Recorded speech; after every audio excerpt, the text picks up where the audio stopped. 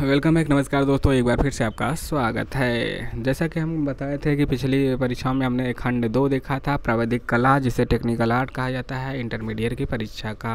इसका पेपर 22 फरवरी को पेपर से पहले इन महत्वपूर्ण क्वेश्चन को आप ज़रूर देख लें। यहाँ पर आप देख सकते हैं कि विगत परीक्षाओं में पूछे गए प्रश्नोत्तर है प्राविधिक कला के। नाइन्टी क्वेश्चन है, आइए देखते हैं क्या क्या क्वेश्चन पूछे गए थे। तो छत के केंद्र को अलंकृत करने के लिए कौन सा आलेख चित्रित करना चाहिए अथवा सीलिंग के मध्य को अलंकृत करने के लिए निम्नलिखित में कौन सा सटीक आलेखन होगा? तो यह क्या होगा? आपको बताना है तो इसका सही उत्तर है केंद्रीय आलेखन।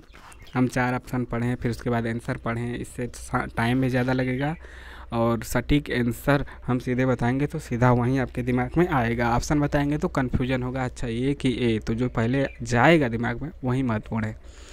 तो केंद्रीय आलेखन क्वेश्चन दो है, सर्वोत्तम रंग संगति कौन सी है? तो सर्वोत्तम रंग संगति कौन सी है? ये आपको बताना है तो इसका सही आंसर है विरोधी रंग संगति। आलेखन सर्वाधिक महत्व क्या है? आलेखन का सर्वाधिक महत्व क्या है? तो वस्तु को आकर्षक बनाना इसका सर्वाधिक महत्व है। क्वेश्चन चार है, आलेखन में ज्यामिति का प्रयोग क्यों होता है? तो आलेखन में ज्यामिति का प्रयोग होता है निश्चित आकार देने के लिए। क्वेश्चन पाँच है, आलेखन के लिए कौन सा आकार उपयुक्त नहीं है? तो इसका क्या सही जवाब है? इसका सही जवाब है कोण। उपयुक्त नहीं है, जबकि वृत्त, वर्ग, त्रिभुज महत्वपूर्ण है। अगला क्वेश्चन है, आधुनिक भारतीय चित्रकला का प्रथम चित्रकार किससे माना जाता है? तो अवनीन्द्र नाथ टैगोर को आप देख सकते हैं। हमने अभी अभी पढ़ा था, पिछले वीडियो में नहीं पढ़े हैं तो चूक जाएँगे आप। राजस्थानी चित्रकला के उद्भव और विकास में किस शैली की प्रमुख भूमिका है? तो मेवाड़ चित्र शैली का। राजस्थान मेवाड़ में यह तो ठीक है। क्वेश्चन आठ है, पेस्टल रंग किस प्रकार के होते हैं अथवा पेस्टल रंग की विशेषता कौन, क्या है? तो इसका सही जवाब है, अस्थाई अस्थाई। अस्थाई नहीं है, पेस्टल है, हमेशा के लिए नहीं है, पानी गिरा हो तो वो साफ़ हो जाएगा। अगला क्वेश्चन नवा है, समकोण त्रिभुज किसे कहते हैं? तो इसका सही आंसर है घ, जिसका आधार कोड नब्बे अंश का होता है, जिसका छ, जिसका आधार कोड नब्बे अंश का होता है। सबको पता है? नहीं पता है? रेखा क्या है? तो रेखा क्या है? दो बिंदुओं के बीच की दूरी को रेखा कहते हैं। क्वेश्चन ग्यारह है। निम्नलिखित में द्वितीय रंग कौन से हैं? तो द्वितीय रंग कौन है? लाल, नीला, पीला तो प्राथमिक है। अभी जो बताया था, किताब के अनुसार हम चल रहे हैं। लेकिन हमें तो गलत लग रहा है यार, गड़बड़। नारंगी? अच्छा द्वितीय रंग है ना? तो नारंगी हमने बताया था ना? बहा बहान, बैगनी, नीला। नारंगी। अरे! ब ह न बैगनी, हरा और नारंगी। यह सब आपका द्वितीय रंग है। ट्रिक हमने बताया था ना, ब न बैगनी हरा, नारंगी। अगला है भारत में प्रागैतिहासिक चित्र, जिराफ ग्रुप कहाँ पाया जाता है? तो भीमबेटका। भीमबेटका में, भीमबेटका। अजंता गुहा मंदिर किस राज्य में है? तो महाराष्ट्र में है, पता ही है आपको। अजंता एलोरा, महाराष्ट्र। अजंता के किस गुहा मंदिर के मंडप की छत पर सर्वश्रेष्ठ आलेखन प्राप्त होता है? तो गुहा संख्या 19 पे, गुहा संख्या 19 दो शोकाकुल नारी भित्ति चित्र कहाँ अंकित है? तो दो शोकाकुल नारी भित्ति कहाँ पे है? तो बाघ गुफा में, बाघ गुफा में। भारतीय चित्रकला में मानव आकृति का आदर्श प्रमाण क्या है? तो 108 अंगुल 108 अंगुल मानव आकृति का आदर्श प्रमाण है। अगला क्वेश्चन है, सत्रह, सत्रहवा क्वेश्चन है मोनो कलर योजना किसे कहते हैं? तो यह एक रंग योजना कहते हैं। उत्तर प्रदेश में राज्य ललित कला एकेडमी कहाँ है? तो लखनऊ में है। अगला उन्नीसवां है तटस्थ रंग कौन से है? तो सफ़ेद और काला तटस्थ रंग थे। अगला है, वार्ली भित्ति चित्र किस राज्य से संबंधित है? बीसवा क्वेश्चन तो मध्य प्रदेश से है, वार्ली भित्ति चित्र। तनखुश भीमबेटका भी आपका कहाँ है? कमेंट करके बताइएगा। तनखुश कुंडली चित्र किस क्षेत्र में है? तो हिमाचल प्रदेश में है तनखुश कुंडली।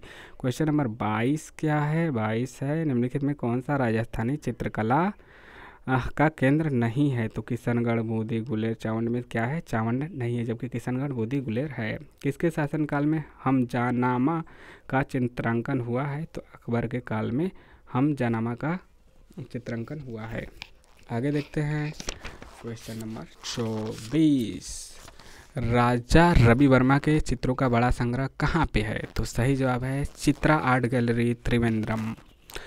त्रिवेंद्रम के ही थे ना? अगला पच्चीसवां है खजुराहो का विख्यात मंदिर किस प्रांत में है? तो मध्य प्रदेश में है। हमने कितना क्वेश्चन कर लिए? हमने क्वेश्चन कर लिया एक बट्टा चार। पच्चीस परसेंट हो गया। पचहत्तर क्वेश्चन और बचे हैं। चौहत्तर ही बचे हैं। ठंडा रंग कौन सा है? क्वेश्चन छब्बीस है। ठंडा रंग कौन सा है? तो इसका सही जवाब है नीला। ठंडा रंग है जबकि पीला। पीला लाल काला आपका क्या है? गर्म रंग। काला तो तटस्थ रंग में आ जाता है। उसमें किसको मिला दोगे तो सबको साफ़ कर देगा।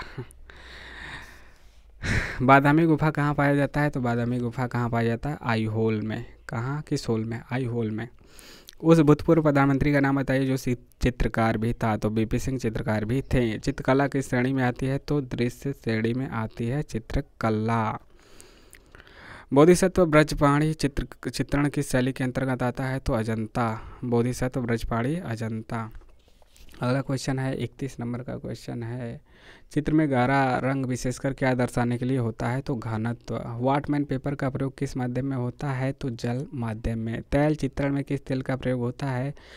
तो तैल चित्रण में प्रयोग होता है तारपीन के तेल का। यूरोपीय चित्रण पद्धति पर धार्मिक चित्र सर्वोत्तम किस भारतीय चित्रकार ने बनाए? तो राजा रवि बर्मा ने, जो कि त्रिवेंद्रम के थे, उन्होंने बनाया है। क्वेश्चन पैंतीस है, छाया और प्रकार के चित्र में क्या भूमिका है? तो चित्र को उभारने में छाया और प्रकार की चित्र में भूमिका है। चित्र को उभारने में क्वेश्चन छत्तीस है। अजंता के चित्रों का प्रकार निम्नलिखित में से कौन सा है? तो भित्ति चित्र है अजंता एलोरा। गजगामिनी किसकी, किसी, किसकी कृति है? तो किसकी है? किसकी है? M F M F Hussain की, एम एफ़ हुसैन की याद रखिए चौथा ग वाले। अगला क्वेश्चन है अड़तीस। आधुनिक भारतीय कला का दूसरा दौर कब शुरू हुआ? तो स्वतंत्रता प्राप्ति के पश्चात। उनतालीस है भीम बेटका। गुफा चित्र भारत के किस प्रदेश में है? हमने आपसे पूछा था एमपी में है। सर्वप्रथम किसने चित्रकला के छह मुख्य अंगों का वर्णन अपनी पुस्तक में किया है? तो वास्तव रचित पुस्तक, कामसूत्र में चित्रकला के छह मुख्य अंगों का वर्णन अपनी पुस्तक में किया है।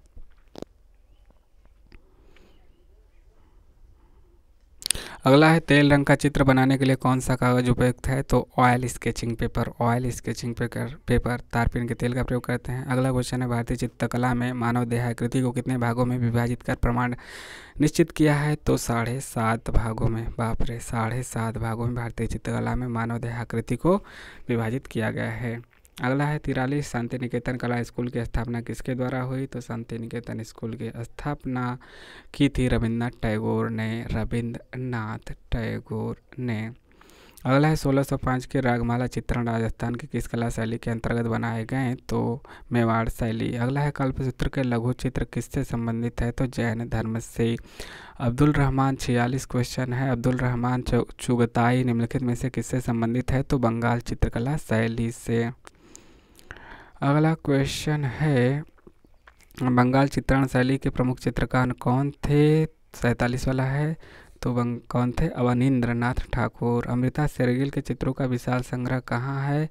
तो अमृता शेरगिल के विशाल चित्रों का संग्रह कहाँ पे है? तो यह आपका है, राष्ट्रीय आधुनिक कला विथिका नई दिल्ली। राष्ट्रीय आधुनिक कला विथिका नई दिल्ली। अगला क्वेश्चन है, हड़प्पा के प्राप्त प्रसिद्ध नृत्यांगना की मूर्ति किस धातु से बनी है? तो सही जवाब है कांसे से। पचासवां क्वेश्चन है चित्र गीत गोविंद किसकी कृति है? तो किसकी है? चित्रे गीत गोविंद। गीत गोविंद तो वैसे जयदेव की है, लेकिन चित्रे गोद गोविंद किसकी है? चित्रे गीत गोविंद किसकी है? इसका आंसर भी नहीं दिया है, बाप रे। तो आंसर हमें पता भी नहीं है तो इसको कमेंट के माध्यम से आप बताइए गूगल पे सर्च करने के बाद हम आपको यदि आप कहेंगे तो कमेंट के माध्यम से बता देंगे। पचास क्वेश्चन हो गया आधा हो गया, आधा बचा है। अगला है इक्यावन मधुबनी चित्रकला भारत के किस राज्य से तो बिहार से है, क्वेश्चन बावन है, भारतीय आधुनिक कला के कलाकारों के शास्त्रीय कला का प्रतिनिधि चित्रकार कौन नहीं है? तो कौन नहीं है पूछा है, रविन्द्रनाथ टैगोर नहीं है, जबकि नंदलाल बोस, असित कुमार हल्दर अवनीन्द्र नाथ टैगोर हैं। अगला क्वेश्चन है, आधुनिक भारतीय कला का नवीन दौर कब आरंभ होता है? तो कब होता है? वर्तमान काल में आधुनिक भारतीय कला का नवीन दौर आरंभ होता है। सुप्रसिद्ध चित्र बनी ठनी किस चित्र शैली पर आधारित है? तो किशनगढ़ शैली पे है, बनी ठनी। चित्रकला में रंग के कितने माध्यम प्रयोग होते हैं? तो चित्रकला में रंग के दो माध्यम प्रयुक्त होते हैं। क्वेश्चन छप्पन है, फर्श के माध्यम को सजाने के लिए कौन सी इकाई है? तो फर्श के माध्यम को सजाने के लिए कौन सी इकाई का प्रयोग किया जाता है? तो फूल पत्ती तथा कलियाँ फूल पत्ती तथा कलियाँ। सत्तावन है, प्राकृतिक आलेखन को किस प्रकार आकर्षक बनाएँगे? तो विविध समायोजन के द्वारा। क्वेश्चन अट्ठावन है, आलेखन का सबसे महत्वपूर्ण अंग कौन सा है जो उसे संपूर्णता प्रदान करता है? तो सही जवाब है, लयात्मक सुंदर रेखाएँ। उनसठ है, आलेखन में साधारणतः किस प्रकार के रंगों का प्रयोग होना चाहिए? तो इसका सही जवाब है आलेखन में साधारणतः। विरोधी रंग का प्रयोग होना चाहिए। क्वेश्चन साठ है, रजाई के आलेखन के लिए कौन सा आकार उपयुक्त होगा? तो आयताकार। गर्म रंग कौन सा है? तो लाल आपका गर्म है, जबकि हरा, नीला और काला आपका ठंडा रंग है जब शीतल रंग शीतल है। काला को भी कभी कभी दे देता है गर्म रंग, लेकिन काला क्या है? तटस्थ रंग है, न तो न तो ठंडा, न तो गर्म। काला और सफ़ेद। ऑप्शन में जैसा रहेगा वैसा करेंगे। तो याद रखिए कभी कभी ठंडा में भी आ, कभी कभी गर्म में भी आ जाता है काला। ऑप्शन में वैसा रहे ना रहे कोई तो काला मार दीजिएगा। रंगों का कौन सा माध्यम पारदर्शी होता है? तो जल रंग आपका पारदर्शी होता है। अगला क्वेश्चन है तिरसठ किनारी डिज़ाइन का उपयोग किया जाता है तो साड़ी के किनारे के लिए। चौंसठ है डिज़ाइन को आलेखन कहते हैं क्योंकि क्योंकि इसमें प्रारूप बनाना आवश्यक होता है। नीले रंग में कौन सा रंग मिलाने पर बैगनी रंग हो जाता है? तो नीले रंग में आपका लाल रंग मिलाने से बैगनी हो जाता है। नीला नीला बैगनी। कौन से नंबर की पेंसिल गहरी चलती है? तो गहरी चल कौन चलेगी? बी बी वाला गहरी चलती है। बी केवल। एच बी नहीं बी एच नहीं टू एच नहीं एच नहीं बी बारीक रेखा बनाने के लिए कौन से नंबर का प्रयोग करते हैं? तो बारीक रेखा बनाने के लिए हम करेंगे एक नंबर का। फैब्रिक पेंटिंग के लिए कौन सा माध्यम उपयुक्त है? तो अक्रेलिक रंग। फैब्रिक पेंटिंग के लिए अक्रेलिक रंग और उन क्वेश्चन नंबर उनहत्तर है। ज्यामिति डिज़ाइन का अधिकतर प्रयोग होता है। मुसलमानी अलंकरणों में अधिकतर ज्यामिति डिज़ाइन का प्रयोग होता है। सत्तर है, आधुनिक भारतीय चित्रकला का प्रथम चित्रकार किसे माना जाता है? तो अवनिंद्र नाथ टैगोर को कितनी बार आ गया? चारकोल क्या है? तो ग्रेफाइट है। अनुकूल रंग संगति में कितने रंगों का प्रयोग होता है? तो मतलब चारकोल में आपका विद्युत धारा जाएगी, जैसे कि ग्रेफाइट में जाती है। अनुकूल रंग संगति में कितने रंगों का प्रयोग होता है? तो दो से तीन रंगों का। अगला क्वेश्चन है, कौन सी पेंसिल से बनाई गई रेखा अधिक काली होगी? तो अभी हमने पढ़ा कि बी होती है तो पेंसिल गहरी चलती है, लेकिन सबसे बनाई गई रेखा अधिक काली होगी तो अधिक काली क्या होगी आपका? बी नहीं दिया है तो क्या होगा? टू बी टू बी तो उससे भी ज़्यादा हो जाएगा ना तो वहीं। किसी मूल या मुख्य रंग का सेट बनाने के लिए किस रंग का प्रयोग किया जाता है? तो मूल रंग का सेट बनाने के लिए काले रंग का प्रयोग किया जाता है।